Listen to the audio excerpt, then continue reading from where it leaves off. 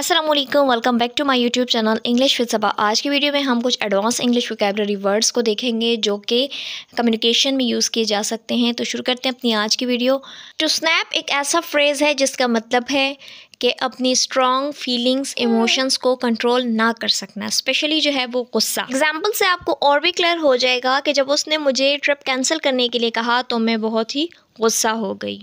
Next is to plead किसी से strong और इमोशनल तरीके से कुछ कहना।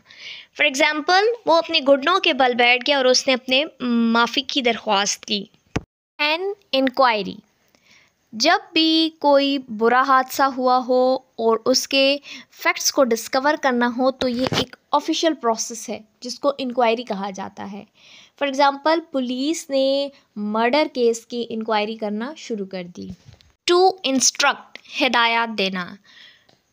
ऑर्डर करना या किसी को कहना कि ये काम करो, एक फॉर्मल तरीके से।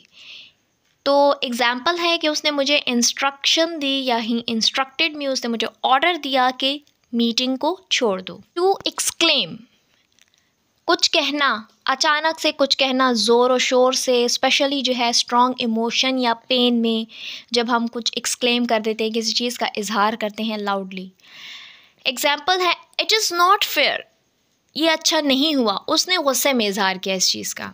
टू समराइज़ यानी सम अप करना किसी भी चीज़ को।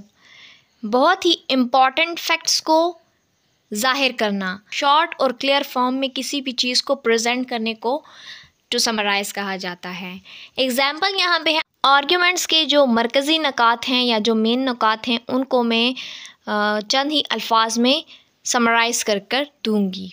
टू आर्टिकुलेट अपने ख्याल एहसास और नज़रियात को क्लियरली एक्सप्रेस करना। वो अपनी फीलिंग्स को अच्छे तरीके से एक्सप्रेस नहीं कर सकती। टू कंडेम मजम्मत करना। स्ट्रॉन्गली किसी चीज़ के बारे में बताना कि ये बुरा है, ये रॉन्ग है या बैड है। और अखलाकी रीज़न्स के साथ। एग्ज़ाम्पल है कि उसने पब्लिकली इस डील की मजम्मत की सबके सामने। कहा कि ये चीज़ बुरी है। या हम ये भी कह सकते हैं कि मलामत किया।